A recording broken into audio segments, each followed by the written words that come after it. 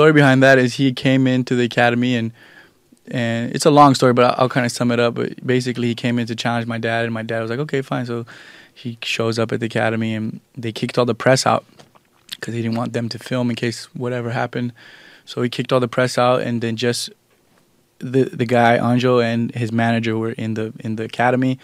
My dad was having a cl- or my dad's black belt was having a class, so there was a bunch of students there.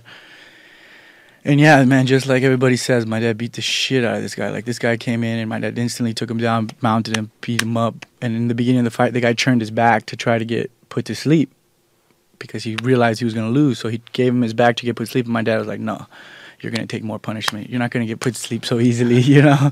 So he kept beating him bad. And it was like, it was hard to see, you know, as even as a kid. And he broke his nose. You can hear his nose break. And it's a pretty big beating. And then after he fought, put him to sleep, he called the press in, and the press came in and took pictures and everything. Anjo went back to Japan saying that he got jumped by the academy, that we all jumped him. And uh, then my dad had filmed it, brought some, brought the video to Japan, and was like, "Look, this is the fight." Showed all the press, and they were like, "Oh." Yeah, they, they all like you know thought it was very bad that he had lied and said that he got jumped in front of TV.